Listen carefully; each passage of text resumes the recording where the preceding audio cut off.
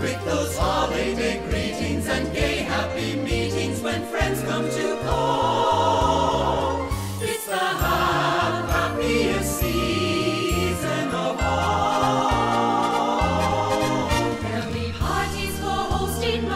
marshmallows for toasting, and caroling out in the snow. There'll be scary ghost stories and tales of the glories of Christmases long, long ago.